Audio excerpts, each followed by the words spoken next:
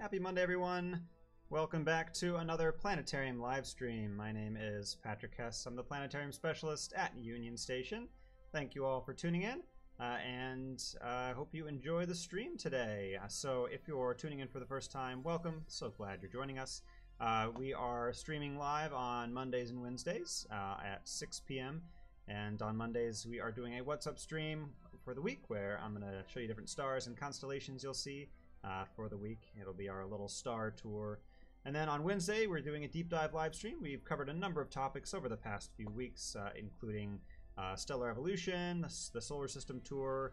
Um, we've talked about fantastical worlds of fiction, uh, which was a really popular stream. And if you missed any of these streams and want to rewatch them, all uh, recordings of all the streams can be found uh, online on the Union Station and Planetarium Facebook page. So be sure to check that out if you missed any of them. Uh, also, my lighting's being a little weird. I'm going to adjust something on the fly here. Hope you all don't mind. Ooh, there we go. Perfect. All right. Uh, that's how you know it's live.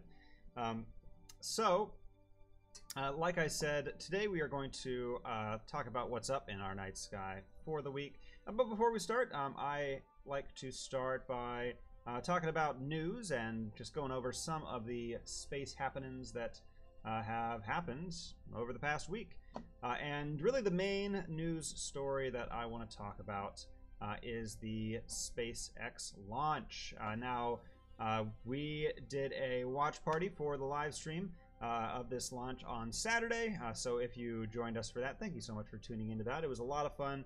Uh, and thank you to uh, my colleagues Jordan and Jeff for joining us for that as well uh, to uh, provide commentary and information about that launch. That was a lot of fun. Uh, and if you missed that, uh, an historic event happened on Saturday. this launch was scheduled for last Wednesday, but due to weather, it was rescheduled, and then the actual launch took place on Saturday.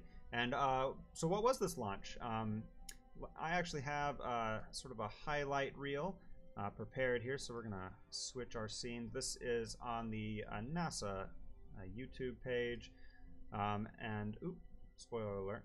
Let's go back to the beginning. Um, so uh, this launch was historic because this is the first time in nine years that uh, American astronauts launched, launched in an American rocket from American soil since 2011.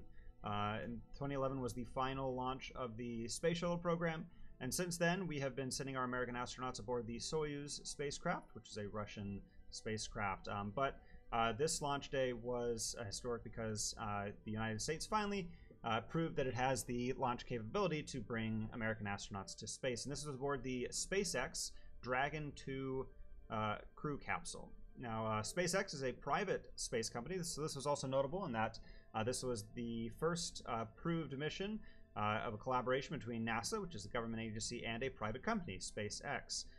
Now, the point of this is to, uh, and then the reason NASA is uh, sort of now contracting other companies to send their astronauts to space is because low Earth orbit, which is um, orbit that just only goes to close to the International Space Station, so in sort of close to the Earth. Um, is uh, with technology advancements, we are able to go up there pretty cheaply, and these private companies can make it even cheaper. SpaceX, for example, uh, makes their launches uh, uh reduces the cost of their launches by reusing parts of the rocket, um, much more than we were able to reuse rocket parts back during the shuttle program. Uh, so we can see uh, Bob and Doug, the two astronauts aboard this demo mission, greeting their families as they get ready to hop in their Tesla to go to the launch site. Of course, SpaceX had to have Teslas involved since uh, those two companies are uh, closely related. Uh, so we can see two astronauts getting ready to go on a launch pad, and we'll kind of fast forward here to the launch pad. Um, so as I was saying, it's important uh, for uh, low Earth orbit to be moved to commercial companies because that allows NASA to focus on deep space exploration, eventually sending humans uh, back to the moon and eventually to Mars. And since NASA now doesn't have to worry about rockets that are sending astronauts to the space station, they can focus on those other projects. Um, so this is a pretty exciting launch. Uh, we can see them hopping into the space capsule. Now this space capsule probably looks pretty different from what uh, a lot of people are used to. Not a lot of buttons and knobs. In fact, um, everything is controlled with three touch screens, and the actual launch and docking maneuvers are all automatic.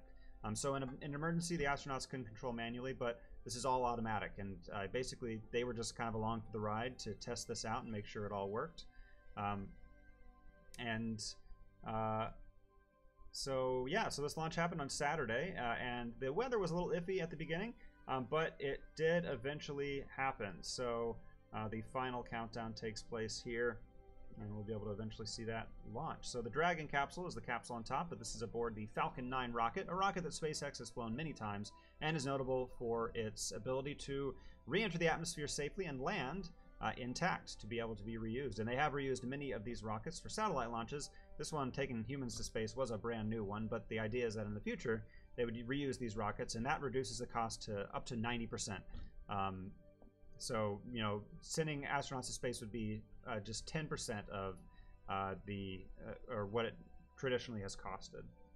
Even though the space shuttle was uh, reusable in a sense, uh, when it landed, it was basically taken completely apart and put back together again every time before it launched again. So even the space shuttle program was extremely expensive um, and not truly reusable. Um, but the idea here is that these boosters would just be able to come back to Earth and then be refilled with fuel before they went back to space. Um, so a couple little things. We talked a lot about uh, the launch, and I think you. I'm not sure if you can rewatch our watch party with the comments. Um, you may be able to do that. I'm not sure. Um, maybe uh, my social media friends can help answer that question for me. But um, in the meantime, uh, so we talked about a couple things. One thing we brought up is this uh, max Q that the rocket just reached at about one minute and one second. That is the maximum dynamic, uh, maximum dynamic pressure. Um, basically, the rocket is traveling uh, fast enough and it's going through a thick enough layer of atmosphere that it is experiencing the most amount of pressure that it experiences in its launch. When it goes past this point, even though it's going faster, the atmosphere is thinner, so there's less pressure on it. But that max Q point is sort of the, the biggest point of, of force on the rocket as it's launching. And from that point on, it's essentially sort of downhill. Um, MECO stands for main engine cutoff and that comes right here where we see the booster separating from uh, the top of the rocket and the astronauts continuing on to orbit while the booster comes back down to Earth. And so um, for these launches, they have uh, cameras on the outside of the rockets as well as the inside. Uh, this ride looks a lot more relaxing than uh, space shuttle launches were. Um, and if I fast forward enough here, this is the camera on the booster as it's coming back down to Earth. Um, and uh, we will go ahead and fast forward here. And actually, this um, there's a better view of the booster landing. So let's see if I can track down that video because it was very cool. Definitely want to show you guys that. Um, oftentimes the camera cuts out uh, as the booster is landing on the landing pad there. Um, but it is a very, very cool shot, so I definitely want to want to bring that up if I can track it down, of course. Uh, and I might, I thought I had it a moment ago, but clearly I didn't.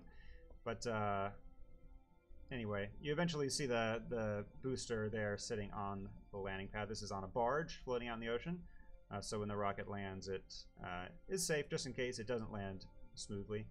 Um, but eventually, the uh, two astronauts did get to orbit, uh, and uh, after a about a 17-hour uh, ride, which included uh, some sleep time while they were just waiting to catch up with the International Space Station, they did eventually dock with the International Space Station. Those highlights can be found on a different video, um, but uh, the astronauts did eventually come back, or did eventually board the International Space Station which uh, we can find.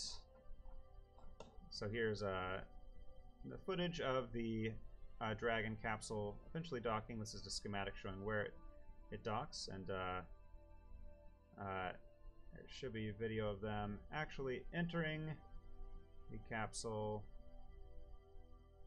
Looks like maybe it's uh, video around here here they are, uh, the two astronauts that were aboard the uh, the demo mission, and then the three astronauts that are on the space space station right now. So a pretty exciting launch, uh, and uh, you can find more of those highlights uh, if you just go to NASA's uh, YouTube pages or their Twitter or Facebook. Um, a lot of cool stuff there. So pretty exciting stuff. Doug and Bob are going to be on the International Space Station for about 100 or so days, and they're going to be testing out things about the capsule before they take it back down to Earth. And then eventually, the first actual crewed mission, which they're calling Crew Mission 1, uh, will happen later this year, and that's going to take four astronauts aboard the Dragon capsule up there uh, to do a, an official science mission. So this was just a test mission, uh, but after this is all successful, NASA will sign them off and basically say, okay, we're going to use these uh, SpaceX rockets for all of our future astronaut launches to the International Space Station at least. Uh, and Doug and Bob will be doing a little bit of science up there too, because you know can't resist doing that while you're up there, um, for sure. Uh, so it's pretty exciting. Uh, and yeah, I just wanted to do a, get on a tiny soapbox here because some people might be wondering, well, what's the hullabaloo about this? Why are we even going to the International Space Station? What are we doing up there?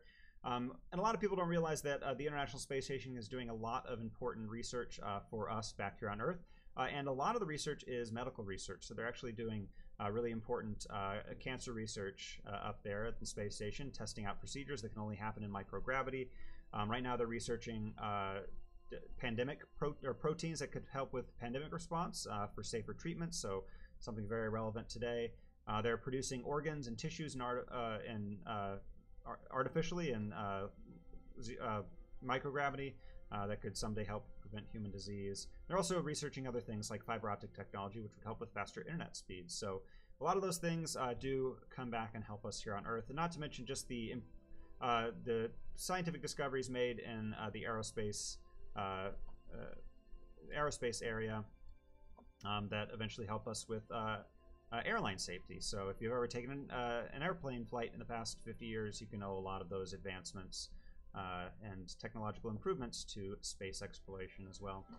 So exciting stuff uh, and historic day for sure, and it's nice that the United States is back to sending our own astronauts to space. Um, so yeah. Uh, before we start our star tour, let's check in on the comments. Uh, and uh, see, it looks like uh, so. I was talking before about the uh, the live stream that we did, so you can rewatch the entire uh, NASA live stream if you want. it should still be uh, on our Facebook page, um, and you can see the comments that we left. They just won't sync up with the replay, so you won't be able to tell exactly when the comments happened, but you'll be able to see those comments and hopefully learn something from that. Um, other questions? Eric is asking uh, if there or how many other companies are trying to launch and where do they stand in their progress. That's a great question, and there are a lot of other private companies uh, that are working on uh, space exploration. Um, most notably, NASA actually has announced very recently, about a month or so ago, that they've chosen three private companies to uh, help them design lunar landers for their uh, lunar missions, and those companies um, are going to be uh, SpaceX let me double check um, the other two just to make sure I get the names right. Um, but uh, SpaceX is one of them. Uh, Blue Origin is an, an, another, which Blue Origin is a private company um, that uh, has ties to uh, Amazon and uh, Jeff Bezos. So they're working on an orbital class rocket right now. And then another company called uh, Dynetics, um, which is a company I'm not very familiar with, but those three companies will design different lander systems to eventually bring astronauts back to the moon. Uh, but uh, like I said, um, Blue Origin is one of those other uh, notable companies, and that is that was founded by Jeff Bezos, who's famous for Amazon, and um, got weird like perturbations in space time happening with my green screen right now. lighting is very weird. Uh, we I don't know if you know this, but for all these live streams, we've been using natural lighting from my windows. Uh, so uh, things have been uh, kind of interesting to keep up with as the seasons are changing. Oop, that's not going to help. Um, I think maybe I need to do this one. Hey, we're gonna we're gonna do this live. Uh, let's see. All right. There we go. All right. Hopefully that helps a little bit. Okay. Um, so Blue Origin is a notable one. Uh, Virgin Galactic is another company um, that uh, Richard Branson uh, founded uh, of uh, the Virgin Airlines. Um, they're working on a uh, another rocket that still hasn't reached orbit yet, but um, they're currently developing that. Um, and uh, Boeing is also another company that NASA often contracts with. Um, that is a private company working on. They're, they're mostly working on the uh, the components for the Space Launch System, which is NASA's NASA's own heavy launch system that they're planning on using for their Mars missions. So, uh, quite a few private companies, and those are just American companies. There are private companies uh, in other countries that are doing similar things. Uh, and then uh, Stephanie asked how long will it be till the astronauts get back. Like I said, they are planning on being there for about 120 days officially, um, uh, which seems like a lot of time, but I guess they have plenty to do up there. Uh, and uh, then they'll take the uh, Dragon capsule back down, and they'll also be reusing the Dragon capsule itself. so they'll clean it up and you know vacuum and all that stuff before they send those four astronauts up later this year. Um, so exciting stuff. Uh, and yeah, that kind of catches us up with uh, the fun announcements and news that happened. So we're going to switch back over to Stellarium. Uh, and there's still weird things happening behind me, but I'm not going to stress too much about it. Uh, maybe I'll stress a little bit about it. All right, there we go. Perfect. so uh, yeah, we're back at Stellarium, and we'll drop a link to this software in the comments if you missed that, because this is a free piece of software uh, that you can ooh, uh, you can use uh, to sort of have your own little virtual planetarium. Uh, so uh, you can see I have set mine to have the Kansas City skyline in the background. Um, the Union Station there, we're standing on the lawn of the Liberty Memorial. with the World War I Museum and Memorial behind us there towards the south. Uh, now, this is not a great place to go stargazing. I wouldn't recommend actually coming to this exact spot for stargazing, mostly because all these lovely buildings in our Kansas City skyline are very bright. All those uh, man-made light sources are going to make it hard to see the stars. This is thanks to something called light pollution. Uh, bright lights from buildings and street lights and car headlights shine up into the sky and bounce off our atmosphere, and when you're near a big city like KC, it's often hard to see the stars uh, at nighttime. It's also hard to see the stars at daytime, Mostly because of this star, the sun. Our daytime star is shining brightly over there towards the west. Uh, and uh, it is the only star we can see in the daytime. It's important to remember, though, that the other stars are up in the daytime. Uh, they're just hiding behind our blue sky. In fact, we can see the constellations there as they would appear in our daytime sky. Also wanted to mention over here towards the east, we can see the moon rising. Now, a lot of people don't may not realize this, although you've probably noticed it, but you can see the moon in the daytime sometimes. When it is waxing, you can often see it in the early evening, and when it's waning, you can see it sometimes in the early morning. Um, right now, the moon is in a waxing gibbous phase. The word waxing means that it's currently getting bigger and brighter, and gibbous means that it's more than half full, but it's not quite completely full. Now, when it's waxing, that means that after the sun sets, the moon will still be up, and it'll be up for much of the night. And unfortunately, when the moon is gibbous, so much of it is illuminated that the moon is actually a great source of light pollution, then it'll make it hard to see the stars as well. So just bear that in mind when you're planning on going stargazing. When the moon is waning is when it's best to go stargazing, because when the moon is waning, it rises a little bit later than sunset. So if you catch it right after, if you look at the night sky right after sunset, you won't get the moon in your way. But we do want to get that sun to set so we can see the stars. So let's go ahead and fast forward time here. Now, as we approach the summer solstice this month, which is hard to believe, um, the days are getting longer. The longest day of the year will be on the 21st of this month, uh, June 21st. Um, so uh, right now, the sun sets pretty late. In fact, uh, you can see that the sun was still in twilight at 9 p.m. tonight. And really, you want to wait about an hour after sunset to get a good view of the night sky. So about like 10:30 tonight, um, you know, 10, 10 o'clock to 10:30 will probably be the best time for stargazing because all that twilight has gotten out of the way. So we're going to be spinning our star tour around then, even though that's pretty late and oftentimes past my bedtime. Um, but uh, yeah, let's go ahead and jump into our star tour. Now, if you've tuned in often, uh, I might be starting to sound like a broken record because I often like to start with the same two star patterns Mostly just because if you are uh, tuning in for the first time, this is a uh, familiar place to start out with, uh, and it's always good to kind of uh, get everyone on the same page and get our bearings in our night sky before we dive into something more complicated. Um, so I like starting with these two spoon shapes in the sky called the Big Dipper and the Little Dipper. You can see them towards the north, and right now the Little Dipper is below the Big Dipper this season. These two patterns are very famous patterns and are well known around the world. I do want to mention, though, that they are not technically official constellations. These are unofficial star patterns, uh, a group of patterns that we call asterisms. Um, now, I should mention or talk a little bit more about constellations in general. There are 88 of them total. These were picked back in 1930 by an organization called the International Astronomical Union. Uh, 42 of them are animals, 29 are inanimate objects, and the other 17 are people or characters from mythology. But uh, these constellations are mostly adapted from Western uh, mythology, especially the ones in the Northern Hemisphere, and all the ones uh, in the Southern Hemisphere, or many of them, were from uh, later European and American explorers. So it stands to reason that people around the world probably see more than just 88 patterns up there, right? You know, there are different cultures besides uh, Greek cultures and European cultures. So, um, yeah, so there are a lot of other patterns there that other cultures see. And so astronomers have come up with a different name for those patterns. We call them asterisms. Now, this is not to mean that they're any less important or less significant. In fact, constellations are technically not even patterns themselves.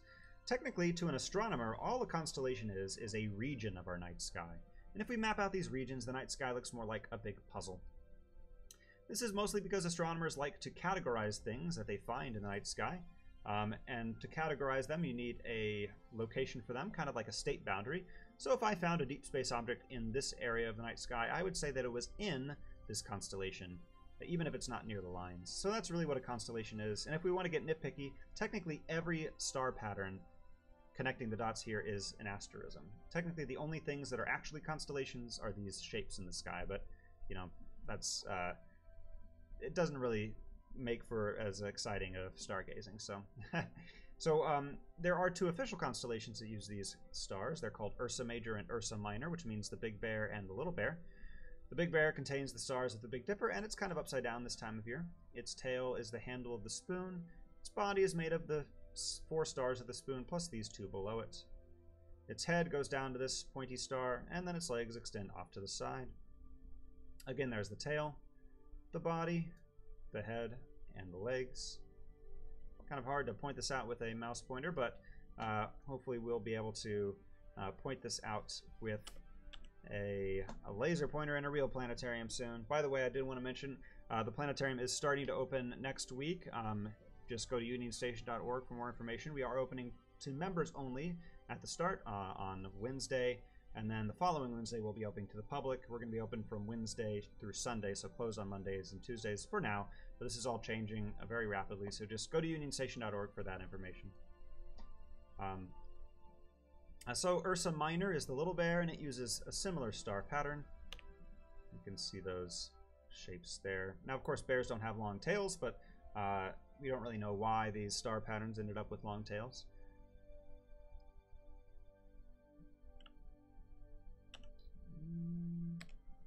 So uh, there's a very famous and important star in the Little Dipper. The star at the end of the Little Dipper's tail, in fact, is the important one. Its official scientific name is Polaris, but a lot of you probably are fam more familiar with it by its nickname, uh, and that nickname is the North Star. Now, the North Star is called the North Star because it points north. But you might be wondering, well, why isn't this star the North Star, or why isn't this star the North Star? There's something special about this star, and it's not that it's the brightest star in the sky, because Polaris is actually the 45th brightest star, so it's not even anywhere close. But for uh, the real reason the North Star is special is because throughout the night, it is the only star that stays in the same place. If I fast forward time again, you can see that the stars appear to rotate around our night sky. But the North Star stays in roughly the same location. This is why, no matter where you are on planet Earth, and no matter what time of night it is, if you can find that North Star, you can always find north because the North Star always points north. Let's head back to our star tour time, just right around 10 p.m. Uh, now, uh, the reason for this has to do with the uh, Earth's layout in relation to the stars. And I have this really cool globe that I brought on camera before, um, but I'll bring it back just because it's a great visual aid. You can imagine all the stars in our sky is laid out as a sphere around us. Now this is now the night sky really is. Some stars are further away than others, so really they are laid out in this 3D grid. But for our purposes, when we're looking at star shapes, we can imagine them in a sphere like this, and we can imagine the Earth inside. Now the Earth rotates once every 24 hours. This is what gives us daytime and nighttime. But the stars around the Earth don't change that much. So, as you can imagine, humans on the Earth sort of go for a ride as this rotation happens. And throughout the night, you will see similar stars, but they'll be in different orientations. So if you're in North America at a certain time, I'll try to orient it so like if you're standing on North America there, um, at a certain time of day, this star would be right above you, but if we, if we rotate the Earth a little bit to a different time of day, a different star would be right above you. But no matter where you are, the North Star is always in the same spot relative to the Earth because the North Star is directly above the North Pole. And as the Earth rotates, the North Pole is always in relatively the same location too. So hopefully that kind of helps to uh, explain why that North Star is special and why it doesn't move. Let's go back over to Stellarium. And uh, we're going to move right along because I blabbed on a little bit too long about uh, the SpaceX launch. Hope you all don't mind, um, but that's okay because uh, a lot of the stuff we've gone over in previous Star Tours, and if you want to check any of them out, you can always rewatch them. But I will still go over some highlights. Uh, I do love the Liberty Memorial, but it is quite large, so we are going to hide it uh, for just a moment. We're going to get a bit of a flatter view of the sky. That way we can see uh, the moon shining up there in the south. So, uh, let's check out this constellation right here. This is Leo the Lion. You can find Leo by using an asterism that looks like a backwards question mark or a coat hanger hook. This is the lion's head and his mane. Here's the lion's body, his front paws, and his tail. He represents Leo the lion, the ferocious beast that Hercules fought and defeated during the first of his twelve labors. The star at the end of Leo's tail is named Denebola. Denebola means tail of the lion in Arabic.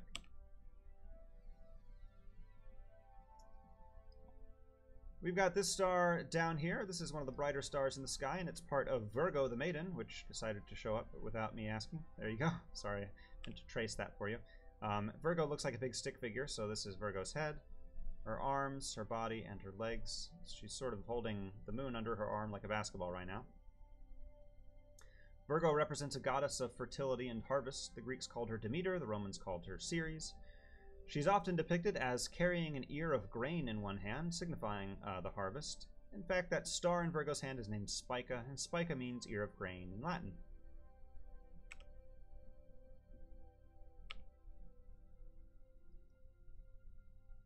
There's another bright star up here. In fact, this is the second brightest star in the entire sky and the brightest star in the evening right now. It's called Arcturus. It's part of a constellation that kind of looks like a spilled ice cream cone.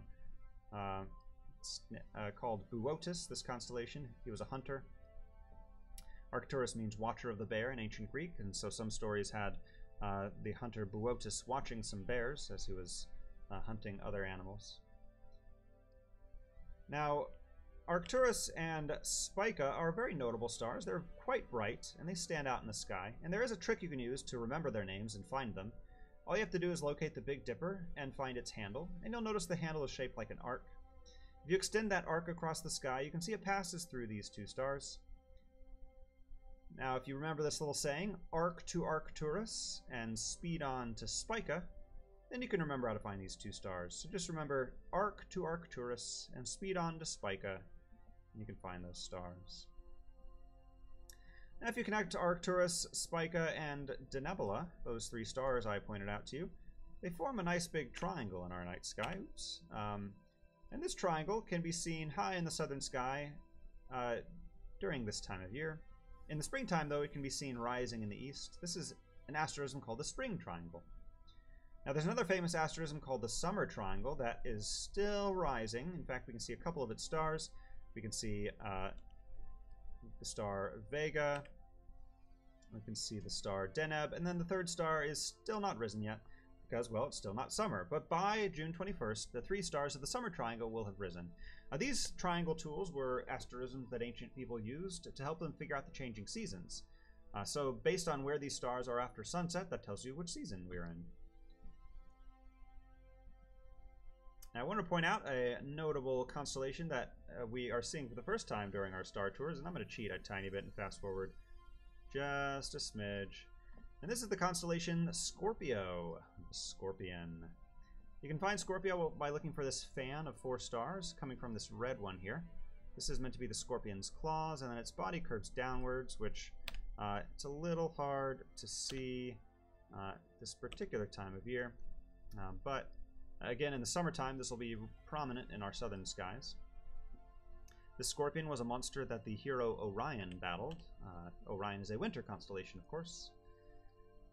Uh, I want to tell a kind of funny story, though, because this star here is named Antares. Um, now, this star is so red that ancient people often mistook it for Mars, the red planet. And they actually made this mistake so many times that they eventually decided to name this star Antares, which literally means not Mars.